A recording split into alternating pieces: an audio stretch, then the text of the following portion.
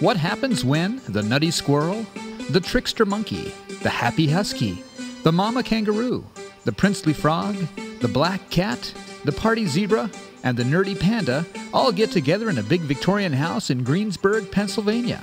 I don't think that's the hot tub. Uh oh. Interspecies romance. Where is that music coming from? Watch Stuffed Animal Reunion, an original Steveoland production.